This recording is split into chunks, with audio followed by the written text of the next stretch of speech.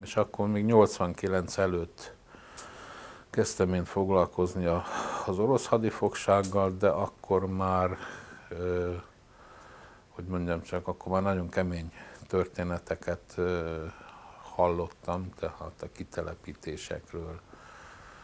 Így készült el a Csonka Bereg, tehát én félbehagytam a hadifogságról szóló forgatást, mert meghallottam, amiről nem tudtam, pedig azt gondoltam, hogy elég sok mindennel tisztában vagyok, hogy mi történt ebben az országban mondjuk az én ebben a században, vagy főleg azóta, mióta én a szememet rányítottam a világra, de hát ugye azt én sem tudtam, hogy már 1944 novemberében Csonka Bereg nevezzük így, tehát Bereg megyében százával, ezrével vitték el az embereket 18 és, és 50 év között, és abból alig-alig néhányan jöttek haza két-három év múlva és ez még nem a hadifogság, hanem más, egy szörnyűbb dolog. Most, hogyha ezt lét leforgattam, akkor itt már óhatatlanul, amiről az ember tudott, de csak orosz viszonylatban Szolzsenyicinen, bár Lengyel Józsefen keresztül talán mást is, de az még inkább oda tartozott, hogy a gulágnak mennyi magyar áldozata van, azt nem tudta senki.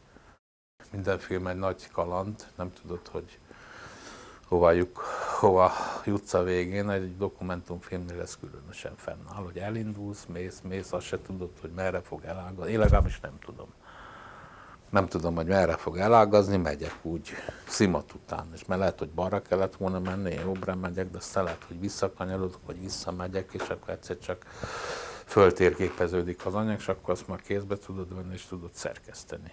Itt különben rengeteget dolgoztam, mert hát ugye ma 60 ember szerepel egy film, azt nem tud átfogni aggyal.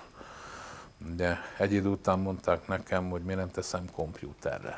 Hát mondtam, azért nem teszem kompjúterre, mert ja, ugye nem vagyok túl járatos ebben, de a rezdülések és a finomságok iránt a kompjúter biztos, hogy nem eléggé érzékeny.